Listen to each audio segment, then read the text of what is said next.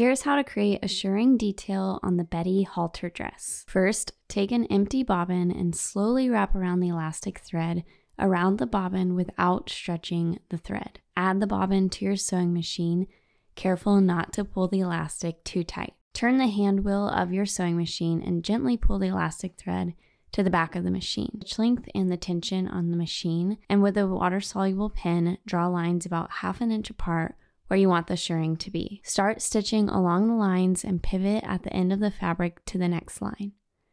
Using an iron, steam above the shirring to see it naturally bunch the fabric to activate the elastic.